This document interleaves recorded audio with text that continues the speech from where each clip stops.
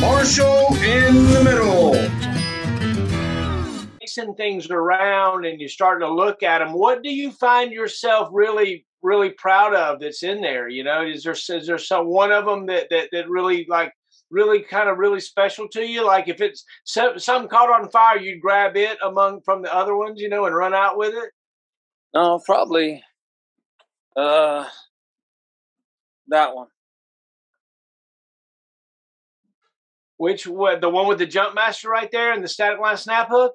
Yes, that one. Oh my gosh! Tell me about that plaque. Where, where's that from? That one was when I left Bragg the first time. Uh, I mean, I know you remember Flag RV. RV. I was working in the three shop then, and uh, I shouldn't say the first time. I'm trying to remember now. Memory's going. That was when uh, I got picked up for recruiting. And uh, yeah, I got picked up twice. Every time I went to Bragg, they sent me somewhere I didn't like. Marshall in the middle.